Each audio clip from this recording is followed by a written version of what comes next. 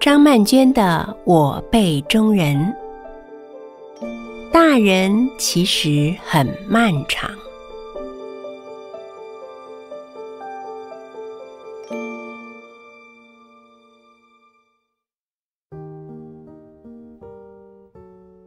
第一次注意到“大人”这个词汇，是在日本旅行时的 JR 列车上。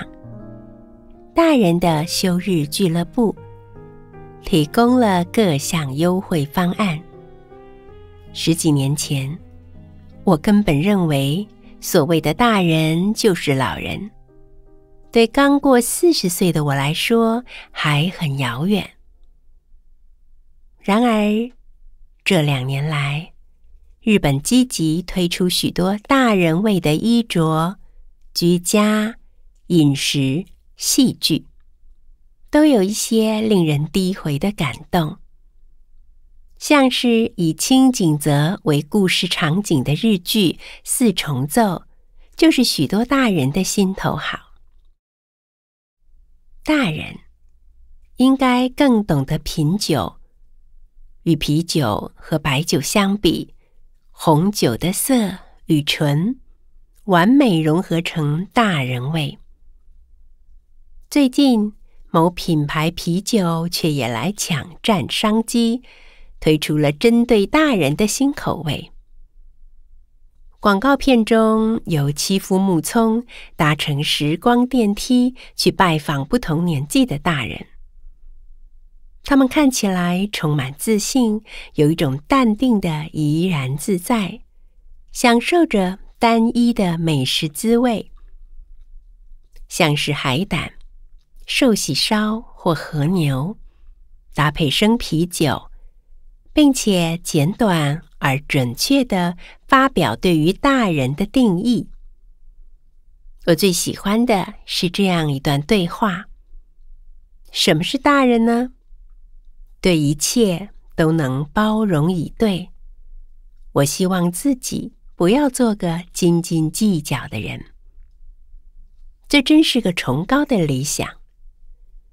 可是，如果到了五六十岁还无法达成，这一生也就没有机会做到了吧？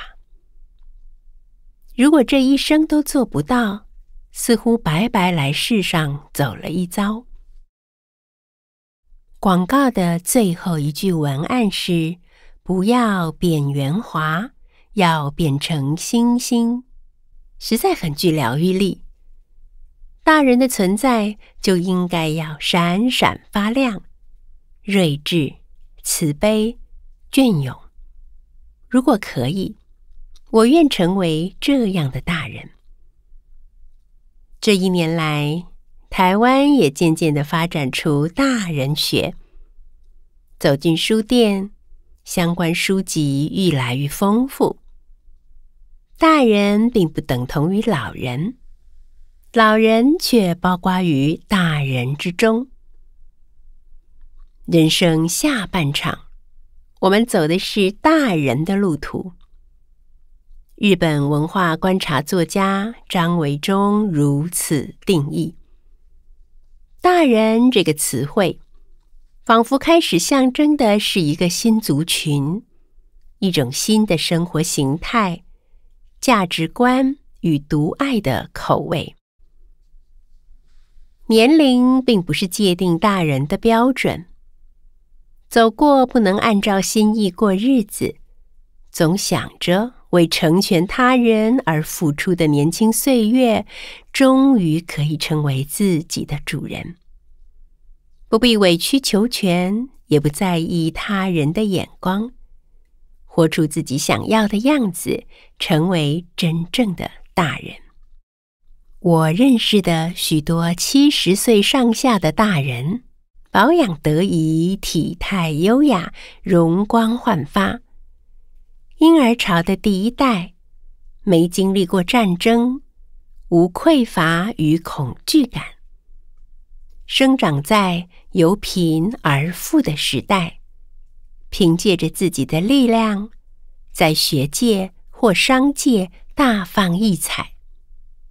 如今虽然退休了，活动力依然旺盛，对世界仍充满好奇，具有个人的审美品味，知道自己真正想要的是什么，不轻易妥协，也不再患得患失。他们的生命态度与生活方式给我很大的启发。七十几岁的日本女演员吉永小百合，为大人的休日俱乐部拍摄了好几年的广告。影像中的她有一张充满故事的脸，总带着盈盈笑意，享受着旅行、温泉与美食。虽然是独身一人，却在许多时刻。怀念着曾经同行的人生伴侣，在半醒半梦之间，能感觉到一双温柔的手为他盖上了温暖的毛毯。那些被爱着的记忆是永远不会消失的。影片结尾处，一行文案写着：“大人非常长久。”历时二十或三十几年的大人岁月，其实比想象中更为漫长。我们将从哪里出发，将会抵达哪里。